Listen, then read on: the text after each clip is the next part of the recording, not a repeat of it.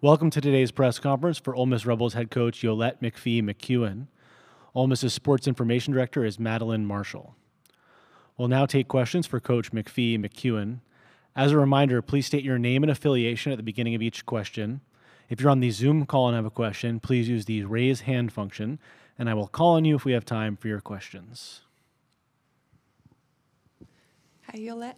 Janie McCauley from the Associated Press. Welcome uh, to the sunny Bay Area. You missed some uh, what we call atmospheric rivers here recently. So, uh, your, your two of your players were just up here and spoke about how everything with this group starts with defense and experience and leadership gained over the over the past year. Um, how has that kind of that progression been? And they're they're excited as a top defensive team to, to face a top three point shooting team uh, tomorrow. Yeah, I mean, I just think the experience um, that we, well, before I say that, I, my heart goes out to uh, the Californians that were affected by the windstorm. And uh, I, I, was watching the news last night and saw some of the details and um, definitely put a prayer up for them. Uh, as far as our team's concerned, we, you know, we've, we think our schedule has prepared us for any type of matchup, from playing the number one team in the country in South Carolina uh, to a two seed in Utah. You know, we uh, that average at the time 100 points a game.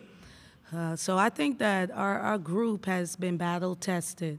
Uh, we've had to get on flights. We've played in the Bahamas, thanks to our administration, and spent a long time there. And and uh, with the hopes that it would prepare us for a, a moment like this.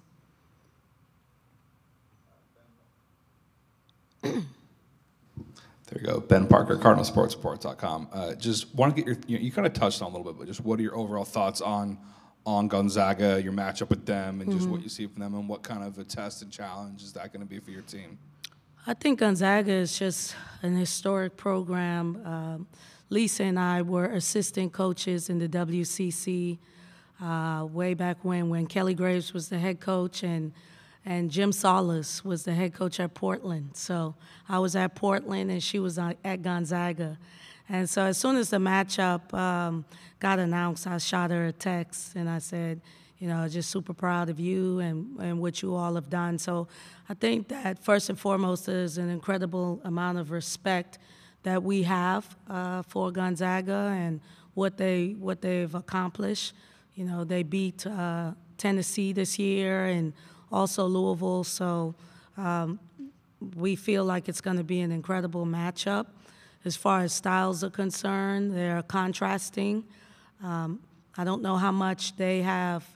I mean, I think both of us have had opportunities to play against contrasting styles them going up against Tennessee and, and Louisville, and us going up against Oklahoma and Utah. So uh, it should be a really good matchup. Alex Simon from Bay Area News Group. Since you've arrived in Oxford, how much have you kind of felt the program change and maybe even the support that you've gotten from the institution kind of grow in your time?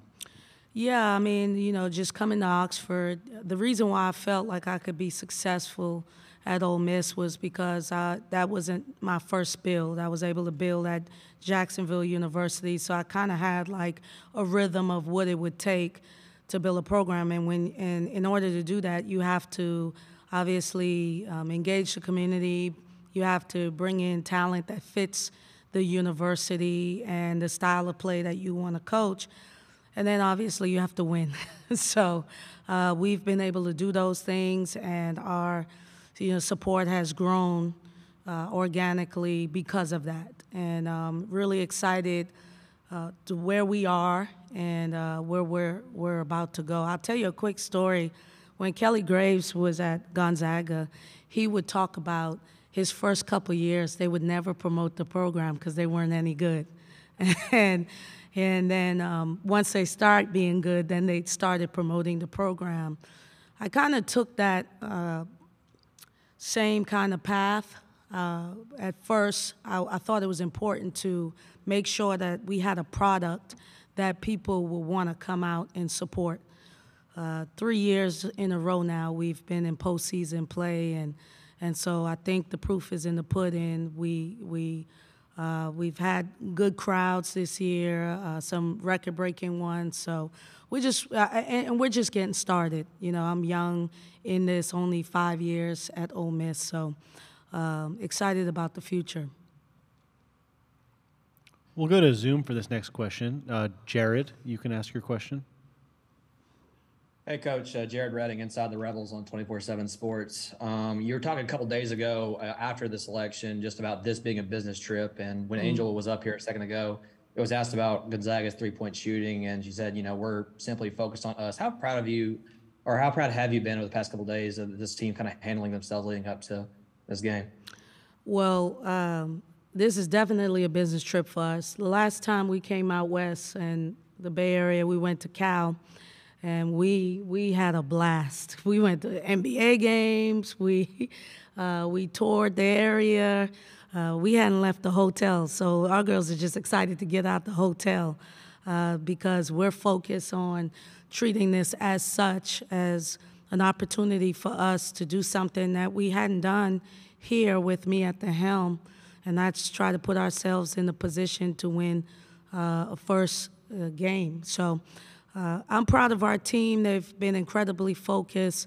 Um, in the non-conference, we usually use time, Jared, to just um, have a great experience. It's something that we promise our players that they're going to have a great experience, and we fill them up with a lot of that in the non-conference. But ever since we got in conference play, you know, we we don't do much. We kind of just uh, eat. They eat a lot, and uh, uh, and sleep a lot, and we just watch a lot of film, and that's what we're going to continue to do.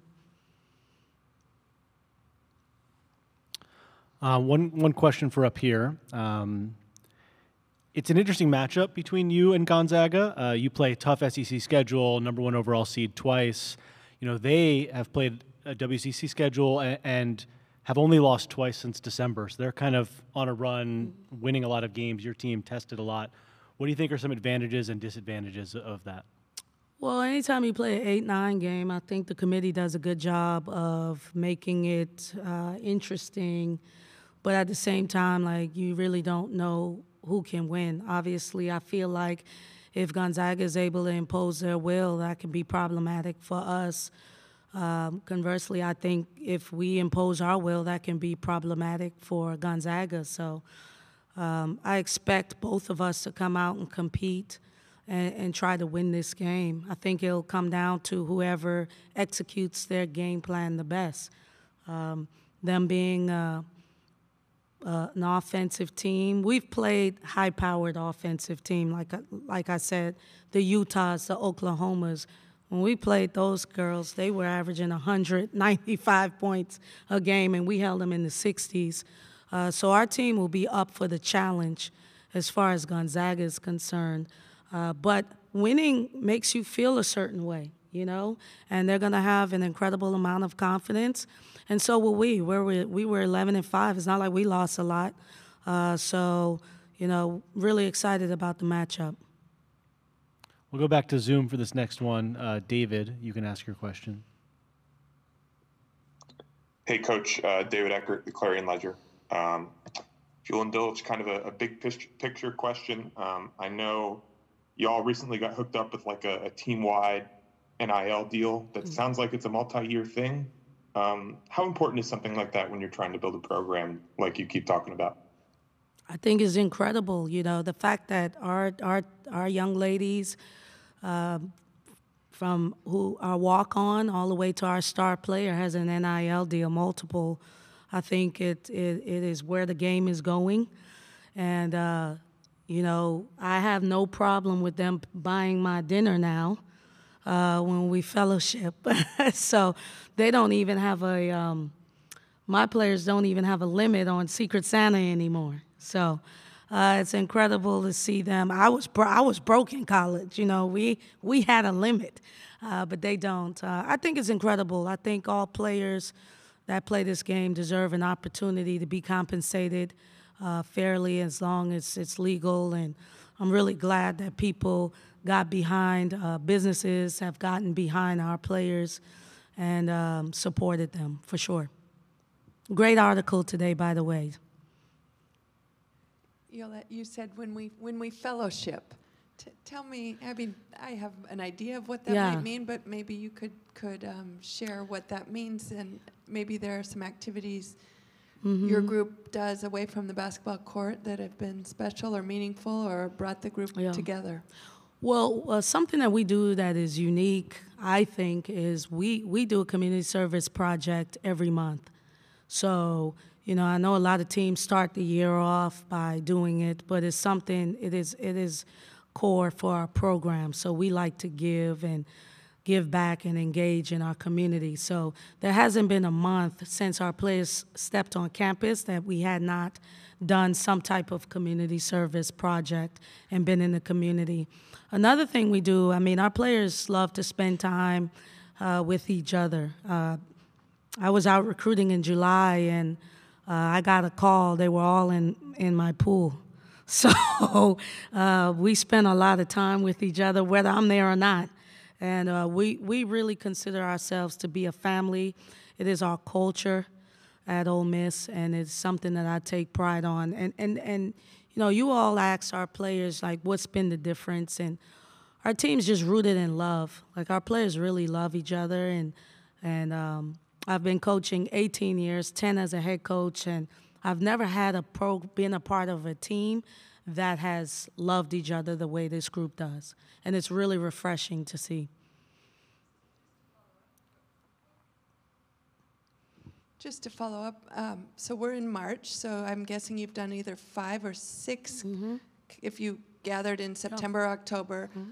community service activities. Do you, could you take us through each one, please, really quickly? I, I can try to remember all. I mean, we just recently did More Than a Meal, which is a community service project um, where there are uh, people that are uh, looking for a meal, and it's a great um, it's a great program that is that uh, they have in Oxford. And so what you do is you pay for the meal. So we paid for the meal, and uh, our players served the meal and spent time with all of the people that came in and. Uh, from young kids to we met an 80 year old uh, young lady uh, so that was pretty cool we just did that we've we've also um, i don't know if you all remember we had a water crisis in Jackson, Mississippi. Well, our players went into their own pockets, and um, we we sent uh, a truck load of cases of water to Jackson State women's basketball program. We didn't even put it out there. It was just something that our team wanted to do. So we we do the things in the community that we don't always even have a camera with. Uh, in December, we adopted a family um, and provided clothes and toys and uh, for for a family. We did in Thanksgiving. You know, we we start in the summer. Uh, uh, reading projects. I mean, we're all over the place. Our the, our community, we're we're the women's basketball team for the Oxford community, and and we we take pride in that, and they have put their arms around us as a program. Uh, ben Parker, CardinalSportsReport.com. Uh, just talk about obviously if you guys were to beat Gonzaga, you'd be fa- you know presumably facing a you know number one you know ranked Stanford team.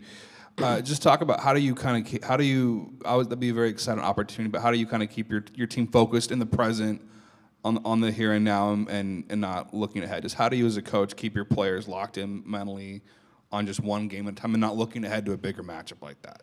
I just think our schedule has prepared us for that. You know, early in the year, we went on a five game winning streak, and our heads got a little bit big. And um, we had a game at home against a team that had some injuries, and I think human nature set in, and we thought that we would just win, and we lost.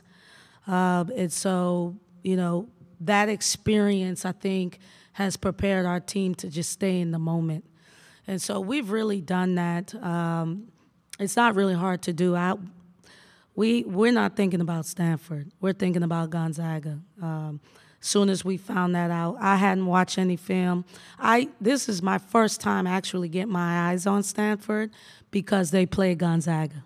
so I watched their game uh, this morning, and that was my first time seeing Gonzaga all year. I'm sorry, I just struggle with the West Coast with the time difference. So uh, we, for, as far as we're concerned, we're focused on the Zags. Jim Allen, spokesman review, Spokane, Washington. Talk about Angel and what she's meant to this program. How you how you got her to Oxford? Yeah.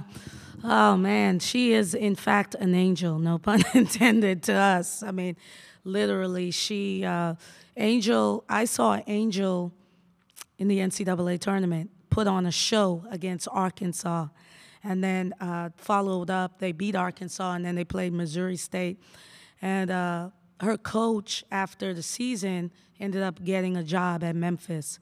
And uh, I called her coach and I said, Listen, is this kid going with you? Like, what's the deal? Um, and she said, You know, I think she's ready for the big stage and an opportunity to spread her wings. And uh, I don't know if you know much about me, but I can recruit. So I just started recruiting. Um, and we got her here. She's been a joy to coach. Angel is an incredible human being, uh, just very humble, very intelligent. Uh, people don't get to see that because they just see her on the court. Uh, she's a ball of fire, uh, but uh, she's just really an awesome teammate too. So she has really made my job easy because I've been able to push her, and she's allowed me to do that. We'll finish with uh, just two more questions, both from Zoom. First, Michael, and then Gabriella. Michael Katz in the Daily Journal. Uh, yo, you and I both struggle with watching West Coast basketball games. Uh, I would just like to put that out There. Even though we're Laker Uh, fans, by the way. Oh yeah, we, yeah, we struggle with a lot of basketball on the West Coast right now.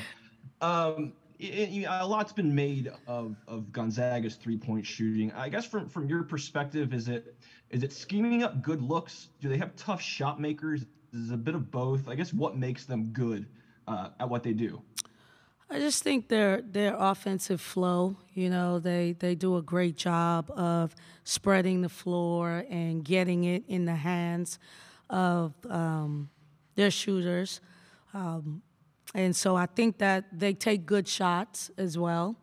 I think that that helps them, and so you know, Katz. I feel like our percentage is not great, but I just want to go on record that we've made some threes here and there too. So. uh, that was a joke. But we really have. Uh, I mean, versus Missouri, we, we made nine. So don't let the Rebs get hot. This will become a three point shootout battle. Uh, that is not what we want. Um, but that, I think that's what makes them special. You know, they just spread the floor. Lisa runs great stuff. You know, they're spearheaded by their point guard, who's just incredibly smart and runs the show for them and, and, and sets them up for success. So I think that's what allows them to get those shots off. All right, Gabriella, last question. Uh, hi, Coach. Gabrielle Lewis with the Next. Um, you're in an interesting position here where you've got these, you know, formidable older players and Angel and Myah Taylor, who this will be their last tournament, and Yeah. then you know younger players like Madison Scott. Um, can you speak a little bit to you know what this potential last ride means, but then also the younger folks kind of taking on the reins and, and the leadership they're bringing?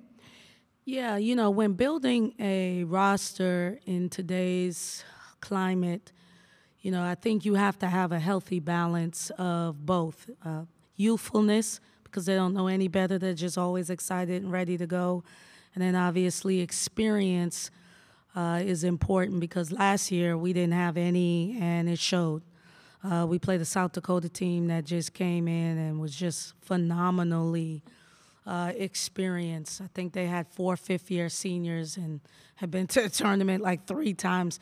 It was the first time, yesterday was the first time I watched that game, by the way, uh, because I wanted to show my team uh, what the, and give them kind of a feel like what it was like. But um, in the in the off season, it that's why we went after Myah once she went into the portal. Myah has sat on the bench in the Final Four when she was redshirting, played in Elite Eight games. Um, out of the 11 players on our team, nine has had NCAA tournament experience. One is a freshman, and then one, uh, Rita, uh, transferred from Pitt, and this will be her first dance. And so it is just a different feel for us um, being in this tournament. Last year, I was just so excited taking everything in, and I've, I've I think, I think I've coached.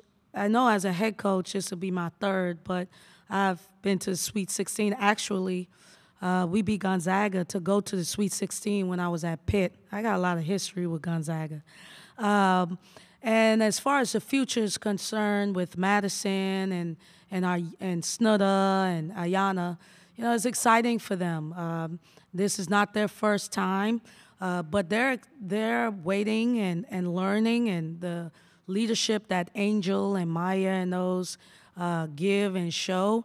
Um, they're just following their lead and doing their part. So this is this has been my most enjoyable year uh, at Ole Miss uh, with Team 48. It's just been an incredible experience with this group.